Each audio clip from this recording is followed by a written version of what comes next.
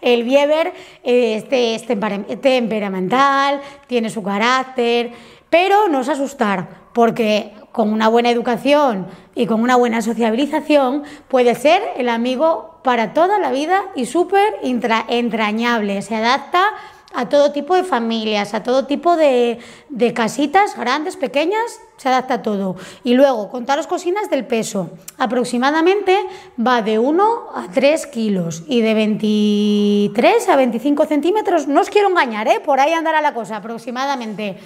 Y nada, pues ¿qué más contaros? Cuidados, de los cuidados.